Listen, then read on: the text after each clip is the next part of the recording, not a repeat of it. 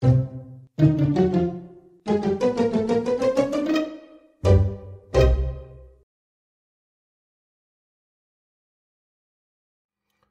drugar Katara Simov bila je razočarana zbog čestitke koju je dobila, pa je pokušala da pobegne iz zadruge preko ekonomskog dvorišta. Ona se ubrzo predomislila, a na putu ka izlazu bila je okrenuta prema kokoškama, a jedna od njih je čak pokušala da je kljucne. Tara se mnogo uplašila, te je počela da vrišti i da doziva pomoć. Janjuše u pomoć, pomozi mi, beži od mene kokoško, ne mogu da udarim životinju. Vikala je Tara. Za još vestio za drugarima, pratite kanal Centar dešavanja.